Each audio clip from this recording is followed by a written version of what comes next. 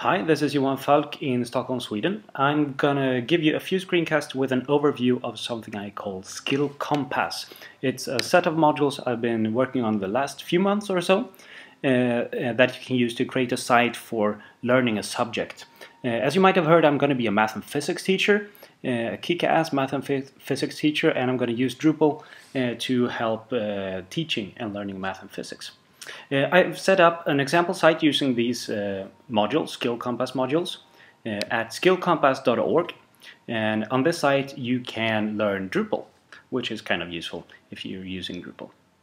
And I'm going to show you how this works in, in a few screencasts, and then later on I'm going to record screencasts to explain how the modules work behind uh, behind the scenes. Um, but yeah, this is uh, skillcompass.org. Uh, on the front page, you find something that looks like, I don't know, a squid or something, and you can click on this. This is some kind of tree, uh, and you can see these are topics. Well, I call them topics that you can learn within Drupal. We have the Drupal main topic here and then subtopics to that. And you can drill down into something, uh, so you can find the topic you want to learn within Drupal. And let's see, uh, I'm gonna find here something about views. Use, oh, I'm going to go into advanced views configuration here some, somewhere, the contextual filters. And click on this one. So I go to the topic itself here. And on this page you get a short description of the topic.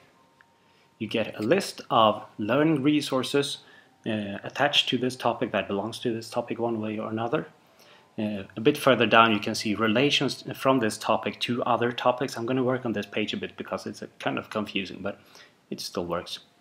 And these learning resources you can click on and then you uh, get some kind of description of this learning resource which is hosted on another page and you have a link here somewhere so you can go, go view that resource. Uh, and you also have down here some kind of preview in an iframe so you can see what um, well see this resource without leaving the site if you want to. A bit further down on the page as well you have uh, other uh, resources on this same topic. Um, you can also see here we have some votes uh, saying how, how good or bad this resource is so you can easier find good stuff. Um, and that's uh, like the basics of the site. You or um, uh, it's used to organize learning resources into topics, well, uh, organize a, a, subject into topics and then have learning resources on each topic. And you can also see here there's another tab called Advancement that don't sort topics according to subtopics but uh, rather by requirements, saying that if you learn content management then you can learn these skills. If you learn basic site building you can go on and learn the, these. Uh, which is kind of useful, I think. Uh, there's a search tab here as well. It works kind of as you would expect. Similar, you have this learning resources tab where you can search for learning resources without going through the whole uh, list and tree of, of the topics. Um, yeah, you're free to, well, as you can see and might have seen here, you cannot post comments on the site uh, unless you log in. Uh, uh, you need to verify your, uh, your email when creating an account, but that's basically it. And I'm going to show you a bit of how it works when you log in, and then I'm going to cut this um, video and create a new one to show you some more advanced stuff. Hold on. I'm going to log in here with a guy called White, and I'm going to show you why he's white or she is white. Uh, right, so this is a blank account. You don't have very much uh, uh, you can do with it. But you have some extra stuff here. You can, well, down here you can post comments. I'm not going to post a comment right now, but I am going to mark this resource as completed. Way to go, it says. Um, and if I have a look at my account here, I have got one point for completing one, uh, one learning resource. Going to this tab here called Level Up, you can see a description of things you can do to get points and what you get when you reach certain uh, point levels. Like here, white belt you have when you uh, get a new account and then you can post comments and you can mark learning resources as completed and you get one point for each of these.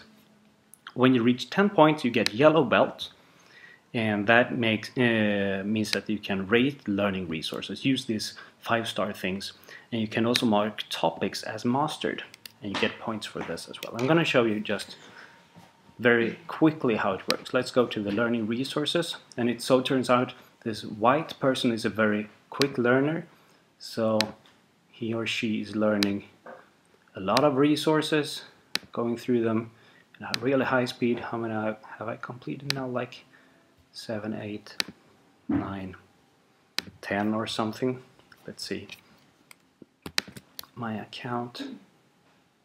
I still have one here. Okay, that's probably that's probably a, um, a, a cache flushing bug because I know I have more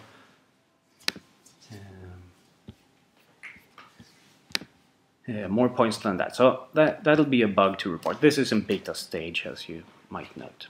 Um, okay, let's see here. If I go to the topics, contextual filters here, say, I should now have, yep, I now have the yellow belt and I can mark topics as mastered. I can mark this uh, topics topic as learned and if I go to an individual uh, learning resource I can also now rate these learning resources. Um, and so it goes, you can collect point and, uh, points and do more stuff. And I added this, um, these uh, point levels and, and like gates uh, for three reasons. One is that you shouldn't have to worry about all the complex stuff on the site when you get a new account. You only want the basic stuff then. Uh, I want to encourage people to, to do stuff on the site. And uh, thirdly, I don't want people to like go in and uh, destroy stuff. If you spend some time on the site, I trust you. If you just create an account, uh, then I wouldn't like you to be able to say edit all the topics on the site. That might be bad. Um, yeah, and um, that's kind of it. The basic stuff. Uh, find find a topic, uh, find learning resources within that topic, and go learn them. That that's the basic idea of Skill Compass. And and this tree here should help you uh, find the topics you're interested in. I'll show you in the next screencast uh, how you can change these topics and, and do funny things with them. But we'll see that then. See you.